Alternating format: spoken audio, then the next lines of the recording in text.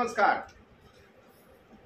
Garment उद्योग में, कपड़ा उद्योग में, यानी परिधान उद्योग में, जो भी कपड़े बनाए जाते हैं, उसमें थ्रेड जो है, वो बैकबोन का रोल निभाता है, यानी धागा।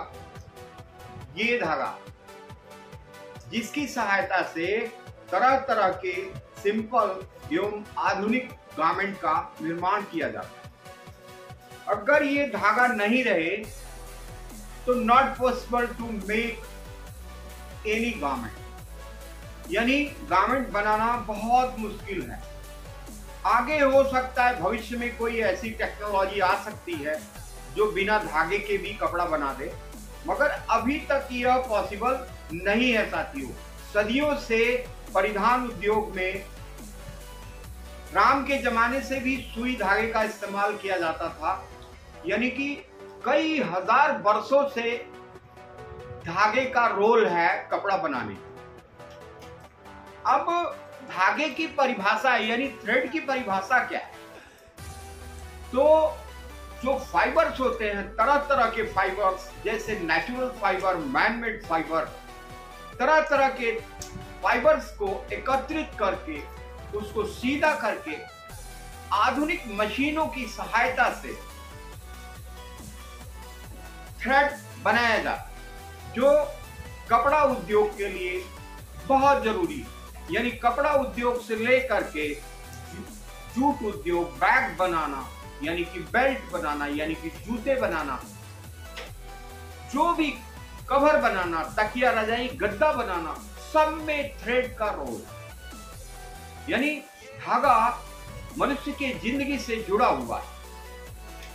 तो आइए साथियों, जानते हैं कि जो है थ्रेड कितने प्रकार के होते हैं। तो बेसिकली जो थ्रेड होते हैं, वो दो प्रकार के होते हैं। एक नेचुरल फाइबर के द्वारा निर्मित थ्रेड दूसरा मैनमेड फाइबर के द्वारा निर्मित थ्रेड तो साथियों नेचुरल फाइबर में जो थ्रेड आते हैं, वो जो है कुल पाँच, छह किस्म के कैसे?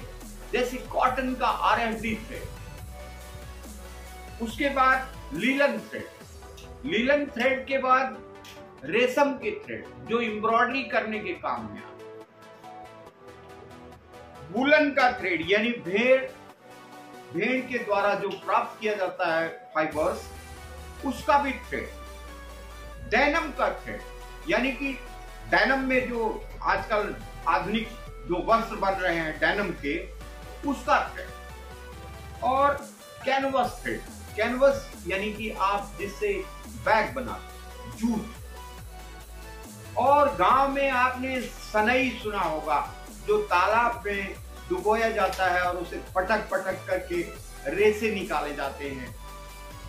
और उन रेसों की सहायता से पतले पतले थ्रेड बनते हैं, जिसकी सहायता से रस्सी भी बनाई जाती है।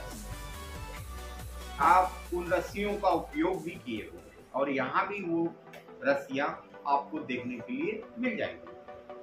तो कुल छह प्रकार के नेचुरल फाइबर थ्रेड होते हैं और मैनमेड फाइबर थ्रेड जो है, वो बहुत तरह के होते हैं। पॉलिएस्टर थ्रेड जो अक्सर गारमेंट इंडस्ट्री में स्टिचिंग के काम में छुपन पॉलिएस्टर रेन थ्रेड वाटर सेलेबल थ्रेड यानी कि इसकी सहायता से कहीं भी गेदर का निर्माण किया जा सकता है और बाद में धुलाई के दौरान यह गल जाता है, खत्म हो जाता है। वाटर सेलेबल यानी कि पानी के अंदर घुलने वाला धागा और नाइलोन थ्रेड जो बहुत मज़बूत होता है, रस्सी बनाने के काम में आता है, बहुत हैवी भार उठाने की क्षमता होती है। इलास्टिक थ्रेड जिससे बॉबिन इलास्टिक का काम किया जाता है कंसाई का काम। कढ़ाई का थ्रेड यानी अंग्रेज़ों के जमाने से और जब मुस्लिम शासन था, तब के जमाने से कढ़ाई का काम बहुत प्रसिद्ध है। लखनऊ वगैरह में और सिकंदराबाद वगैरह में कढ़ाई और बिडिंग का काम किया जाता है उसका। साथियों, एक बड़ी जो समस्या आती है कि आज सभी लोग धागे के बारे में तो जान जाते हैं, अगर पूछो तो बताते हैं, सर टू प्लाई और थ्री प्लाई का। आई नो अंडरस्टैंड कि टू प्लाई थ्री प्लाई का ही धागा होता है, लेकिन ये कितने टैक्स का होता है, यह जानना बेहद ज़रूरी टैक्स यानी एक gram is equal to one tex simple एक ग्राम धागे का वज़न यानी एक टैक्स क्योंकि साथियों, धागे को मीटर में नापना बहुत ज़्यादा क्रिटिकल काम इसलिए कुछ बुद्धिजीवियों ने इसका एक परिमाप बना दिया, एक सूत्र बना दिया कि एक धाग, एक ग्राम धागा रासायनिक तौला पे तोलिए और वो एक टैक्स का है।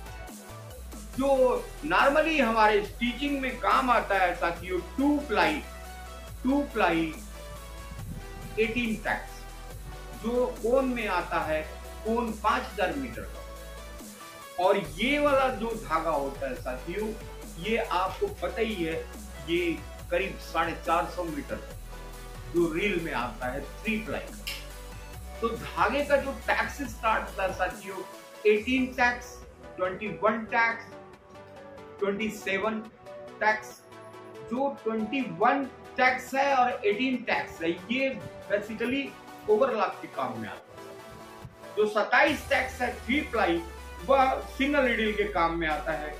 फिर स्टार्ट हो जाता है और मज़बूत धागा 27 tex 30 tex 40 tex 50 tex 60 tex 70 80 tex 90 tex 105 tex 120 tex और 135 टैक्स 150 टैक्स और 180 tex 240 tex 300 tex as per requirement साथियों, धागा, यानी जूता सिलने वाला धागा बेल्ट बनाने वाला वो 280 से 300 ट्रैक्स का होगा। डेनम यानी जींस पैंट जो बनाता है, वो 150 का भी हो सकता है 90 का भी हो सकता है 180 का भी होता है as per requirement of the product तो साथियों, आज आपने टैक्स के बारे में जाना।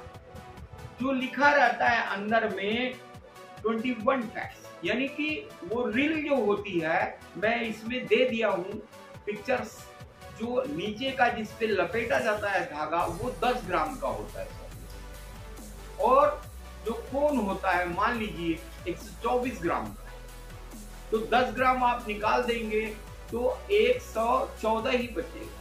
114 यानी कि लमसम 18 टैक्स का धागा होता है। और इसी प्रकार से 10 और 10 ग्राम निकाल करके धागे का वज़न अगर आप नाप लेंगे तो आपको एग्जैक्ट कैलकुलेशन आ जाएगी, एक ग्राम इधर उधर होगा 18 टैक्स का होगा या 21 टैक्स का होगा। तो आपका ये ज़रूरी नहीं है साथियों की टू प्लाई में ही टैक्स इतना होता है। थ्री प्लाई में भी टैक्स हो सकता है। कम या ज़्यादा एज पर रिक्वायरमेंट के हिसाब से। तो मैं पिक्चर ऐड कर दिया हूँ। आप इसको अच्छी तरह से समझने की कोशिश कीजिए। फिर कल मैं दूसरा कुछ अच्छी जानकारी दूँगा। Thank you very much sir